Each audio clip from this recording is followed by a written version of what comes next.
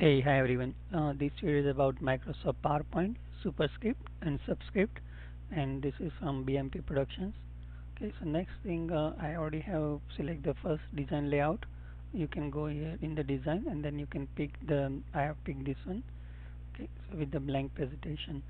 So once you select this design, uh, you go back in the home and then here I want to click the new site and then here I want to pick this two content here okay and then uh, let's see uh, there is another format that I want to pick. Let me remove this one so I can just delete the slide then go here new slide and I want to pick this comparison here.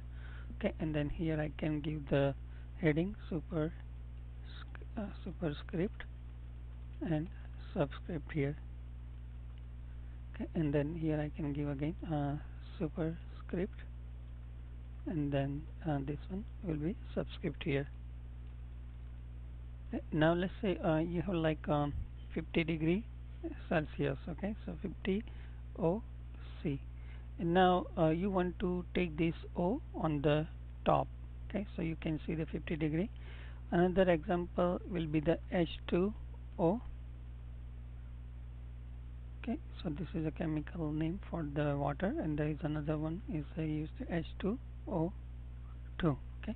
And here I will show the subscript example so here to show the 50 degree C you select this font here go to home uh, go to the font click here it will open the dialog box and then here you can put the superscript okay?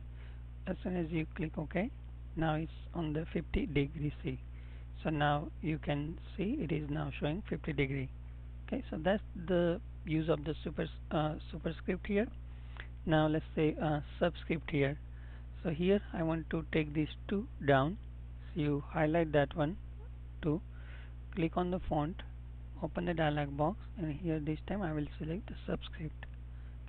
Select click OK. Okay so now you can it's the chemical name of the water H2O here again I want to do the same. So I will go here and then I will say subscript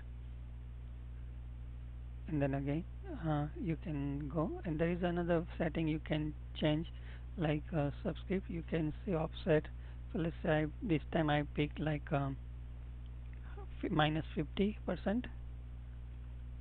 Okay and click OK. And now can you can see it is going way down. Okay so you can adjust that one as well. Uh, I will select it back to 25 percent just to align with the original one. Okay. So that's the uh, video about Microsoft uh, PowerPoint superscript and subscript. Uh, hopefully you like this video. If you like it subscribe to my channel. Thanks for watching. Okay bye